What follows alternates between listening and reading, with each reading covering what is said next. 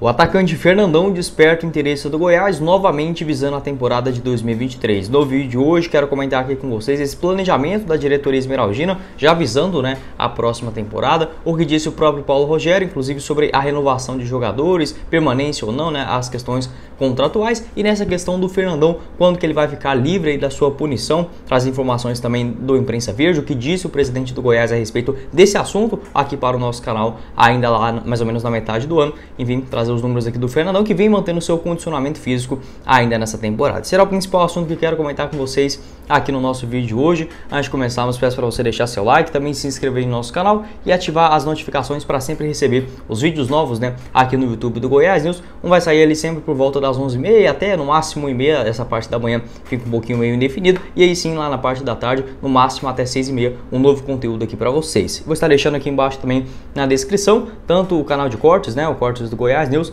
vai lá dar uma olhada. E também meu Instagram pessoal, arroba Gui Machado, underline Jack, vai estar aqui embaixo também para vocês conferir. Outro recado também quero passar para vocês é do nosso apoiador aqui do canal, a Alternative Bike Shop, que está localizada na Avenida J2, ali no Mansões Paraíso, para você que mora naquela região ali, convido você a conhecer a Alternative Bike Shop, que lá você encontra opções de bicicleta é, Aro 29 a partir de R$ 1.100, muito bacana, diversas cores, modelos, vou estar deixando um link aqui embaixo na descrição. E também para pequenos reparos, acessórios, para você que mora em Aparecida de Goiânia, Goiânia e toda a região, fazendo também a entrega dessas bicicletas, vai estar aqui embaixo na descrição e também no primeiro comentário fixado da Alternative Bike Shop, nossa apoiadora. Bora começar o nosso vídeo hoje para falar sobre esse jogador que praticamente desde quando deixou o Goiás sempre ficou nessas suas especulações, né? Quando volta, será que retorna agora nessa janela de transferências? Informação confirmada ainda nesse domingão, lá pela página do Instagram do Imprensa Verde, a notícia que a gente já vinha falando aqui no canal há algum tempo também, mas agora com essa informação extra do Imprensa Verde, abre aspas, ao interesse do retorno do atacante Fernandão, de 35 anos, para a próxima temporada por parte do Goiás. O atleta está livre no mercado e sua pena por doping acaba neste final de ano. Algo diferente do que havia comentado com vocês em relação à sua punição. Na minha visão, e até mesmo do que havia estabelecido a CBF mais ou menos lá naquele período, né? Porque ele foi suspenso após a disputa do Campeonato Brasileiro de 2020, né? Marcou inclusive 10 gols naquela Série A e depois daquela partida contra o Vasco, ali no finalzinho do mês de fevereiro, teve essa sua punição que na teoria seria mais ou menos de um ano e meio, um ano e três meses, mais ou menos dentro desse sentido. Ou seja, ele voltaria a ficar à disposição mais ou menos em outubro do ano passado. Acabou que a CBF fez uma nova punição para ele, só que não ficou determinado assim para a gente no público em geral, né?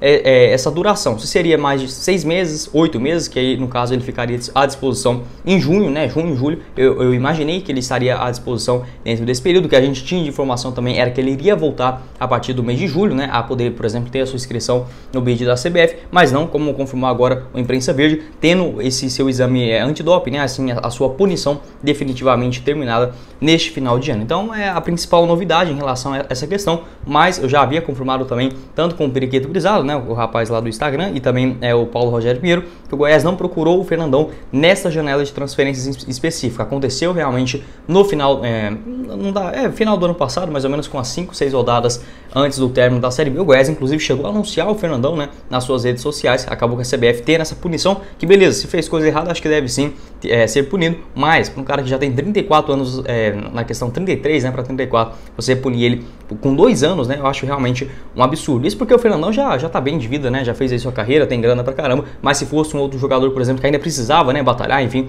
pagar as contas do dia a dia, certamente poderia causar grande impacto, porque a gente vive realmente numa. O pessoal hoje não cuida muito melhor, né? Jogador de 35, 37, não é como 10, 15 anos atrás, que já estava aí praticamente aposentado. Muito pelo contrário, né? O Fernandão sempre mantém a sua forma física, é, ele posta, vira e mexe um outro vídeo lá no Instagram, né, a sua rotina, enfim, um cara que desde quando saiu do Goiás está idêntico, né, ao que ele entrava dentro de campo, inclusive com vários acessórios do Goiás mesmo, short, é, meia, até mesmo camisas, vira e mexe ele aparece, parabenizando também o time, então assim, é algo que, que sempre ficou, fez parte dele também, né, apesar dessa sua rápida passagem, foram 24 jogos, todos eles na Série A do Campeonato Brasileiro, com 10 gols marcados, né? Foi o maior artilheiro do Goiás naquela edição de Brasileirão e foram muitos gols, né? Basicamente ele 10, o, o, Rafael Moura, se eu não me engano, foi o vice-artilheiro com 9 bolas na rede, ficava os dois centravantes lá pesadões, mas funcionou naquela reta final do ano, uma pena não ter escapado do rebaixamento naquela questão. Outras informações é a respeito do, do Fernandão, como havia confirmado para vocês,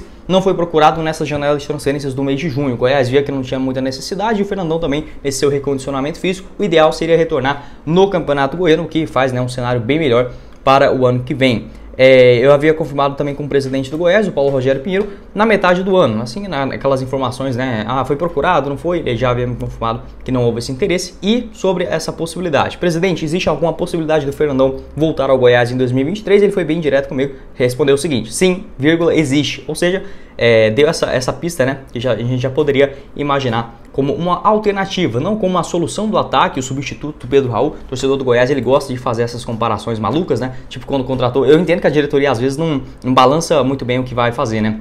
É, por exemplo, quando trouxe o Breno Herculano do, do Aimoré. Aí o Goiás precisando de atacante, jogador, o único, o único atleta foi um cara que fez dois gols na Série D. É óbvio que a torcida vai cair em cima, né? Mas, por exemplo, espera. É, às vezes tenta trazer um outro jogador de, de mais peso e aí sim, né? Anuncia o retorno do Fernandão com essa sua saída eminente, no caso do Pedro Raul, o artilheiro nesta edição do Campeonato Brasileiro. Além disso, né, outro ponto também que eu acho importante é na disputa do estadual. Se ele chegasse no, no meio da temporada, acho que poderia se queimar. Eu acho que o Fernando é tão bom de bola que é, não chegaria, por exemplo, a fazer atuações pífias, né, ou algo nesse sentido, mas certamente para o recondicionamento físico, o cara pegar novamente um ritmo de jogo após praticamente dois anos, né, quase aí parado, né, faz uma diferença muito grande. E aí sim, retornando no Campeonato Goiano do ano que vem, o elenco mais mesclado no começo da temporada, fazer essa pré-temporada também é muito boa, né, mais ou menos um mês, um mês e meio, para dar realmente esse condicionamento físico. Eu, na minha visão, acho um absurdo o jogador mesmo que vai enfrentar, por exemplo, o São Paulo na última rodada ter que, por exemplo, enfrentar o, o, o qual jogo que o Goiás, o Morrinhos, né, nas primeiras rodadas. Não que o Morrinhos seja menos importante, não é isso que eu tô querendo dizer, mas que a, a importância dos campeonatos é totalmente distintas, né? Porque o Goiás só não usa esse elenco mais o principal, faltando duas, três rodadas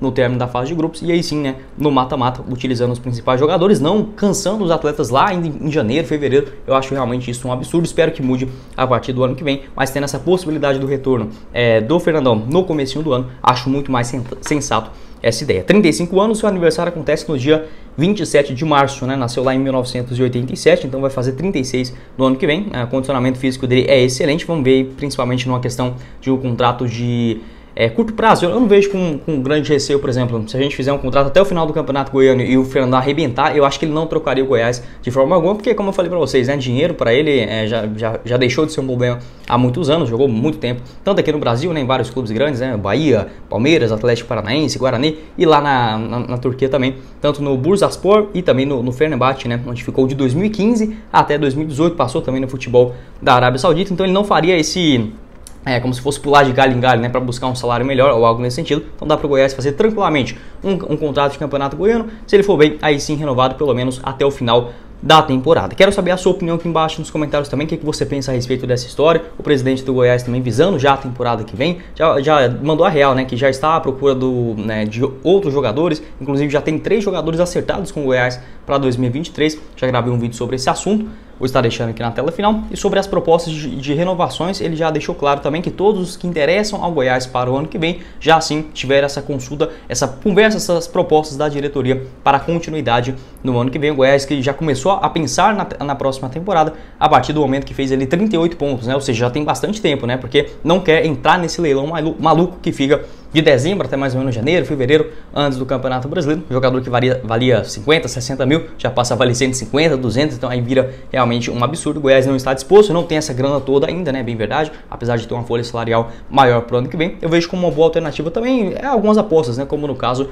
do Fernandão, a permanência do Nicolas, e aí sim buscar um nome um pouco mais jovem dentro do mercado. Não vejo também como uma má possibilidade de ter ali três opções para é, né? No ano que vem. Bom, esse foi o vídeo, eu espero que vocês tenham gostado. Não esqueça de deixar seu like, também se inscrever no nosso canal e ativar aqui é, as notificações, né? Para sempre receber os vídeos novos no YouTube do Goiás News e ajudar a gente a chegar nessa marca de 6.500 inscritos, que já está bem próximo aqui no YouTube. Assim também como lá no nosso canal de cortes, né? O Cortes do Goiás News, a gente está com um pouco mais de 600 inscritos lá, vai dar também dar uma moral. E o meu Instagram, o meu Instagram pessoal, arroba Gui Machado, underline Jack, vai estar aqui embaixo também na descrição, junto com o nosso apoiador aqui do canal. Muito obrigado aí a galera da Alternativa Bike Shop, vai estar no primeiro comentário fixado para você adquirir a sua bicicleta a partir de R$ 1.100 lá com o pessoal da Alternativa. Quem falou com vocês foi o Guilherme e nos vemos na próxima oportunidade, meus caros esmeraldinos. Valeu, galera!